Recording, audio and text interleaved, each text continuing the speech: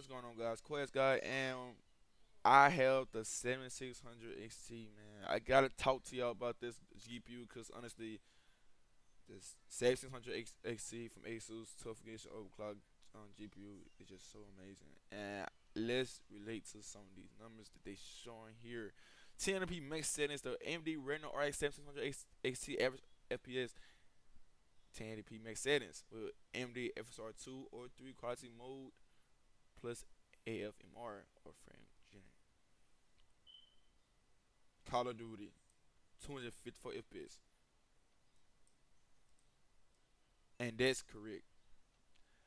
Uh, you could get 300 FPS, almost 300 FPS, depending on your settings. But right now I get 200 something FPS, so on my 3 I could relate um, 155, um, 157 FPS in Assassin's Creed, 208 FPS in um, Gate 3, Cyberpunk at 186, 134 FPS, 279 FPS, 176 FPS, Spider-Man, Evil, Resident Evil 4, 146 FPS, Star, uh, Starfield 118 FPS, 118 less of um 1440p max settings, AMD Radeon, on RX 600 average.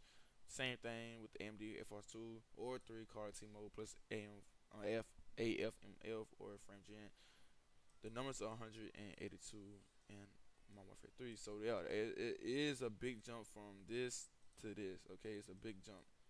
This is still playable. 200 something Modern Warfare 3 playable. 140 40p playable.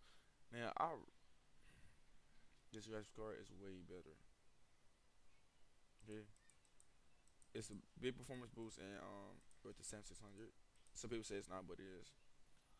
Um, they do have software like you know AMD Noise, um, AMD, uh, AMD Noise, AMD Super Resolution, AMD General on uh, General Edition, um, 32 compute units on 32 on um, rate rate uh, acceleration, um, AI uh, accelerators 64, stream processors 2 on 2048 um, boost um, frequency 2755 megahertz, um, game frequency 2470 um, megahertz, um, teraflops to on 22.57.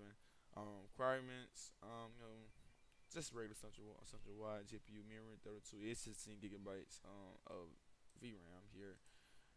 Uh, um, yeah, so it, it do supports um rendering format. Y'all see here.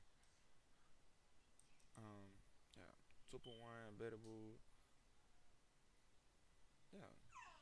Do have a lot of features that y'all can see. These are a lot of features. Um, I don't know about the, uh, videos, but I know AMD have quite a um, few features. So y'all make sure y'all get on uh, Samsung 600 XT because it's really good and the streams is capable and you can take advantage of you can take advantage of um if you want um encoder no streaming in OBS so make sure y'all take advantage of these features where y'all can. If 300 $330 is not bad for 60 gigabytes of VRAM plus a performance boost in your favorite games. My favorite games is 254 FPS, but you can get more. However, Warzone and Modern 3 have the same FPS, so it's just awesome that I'm not averaging around 120 or 117 FPS. You get what I'm saying?